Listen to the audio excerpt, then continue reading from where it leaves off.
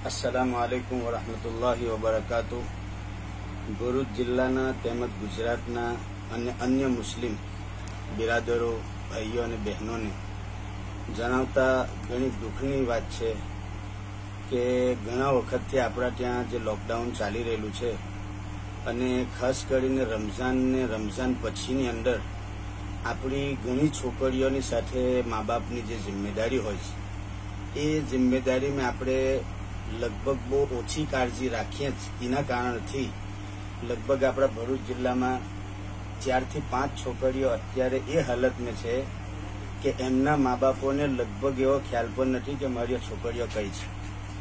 એના કારણો બે થઈ શકે યા તો એ કોઈ એવા મજહબવાળો હાથે જતી જે આપણા મજહબને નથી ડરાવતા. અથવા આપણા જ મજહબવાળો હાથે છે, તો બી આપણા મા બાપો માટે બહુ મોટો દુઃખની વાત છે આયરા.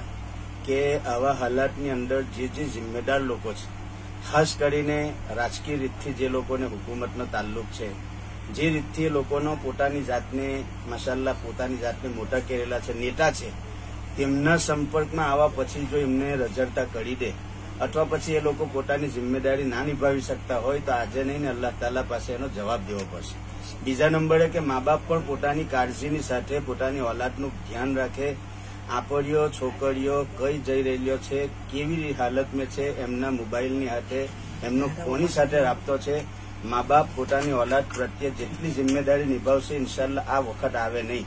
આપણા કોલેજના રસ્તાથી, સ્કૂલના રસ્તાથી કોઈ પણ હોસ્ટેલના રસ્તાથી આપડીઓ છોકરીઓના તાલ્લુકાત વિશે આપણે સોચીએ. અને એ ફક્ત મુસલમાનો માટે નથી, દરેક મઝહબ માટે છે હિન્દુ, મુસ્લિમ કોઈ પણ હોય, દરેક પોતાની ઓલાદની જિમ્મેદારી નિભાવે તેમજ ગામના મોટા આગેવાનો, ચાહે કોઈ પણ એનાથી સંકળાયેલા હોય, એમને પણ જોવે કે ભાઈ પોતાની ગામની, પોતાના શહેરની જિમ્મેદારી નિભાવે. ઇન્શાલ્લા જો આ ચાર છોકરીઓ જે ગાયબ થયેલો છે, હવે કઈ છે તે કોઈને ખબર નથી. અગર આ છોકરીઓ આપણીઓ બીજોના ઘેર પોતાની જિંદગી બસર કરતીઓ હશે, કે હાલતમાં હશે, એમની સાથે ઈમાન છે કે નહીં તે આપણને ખબર નથી.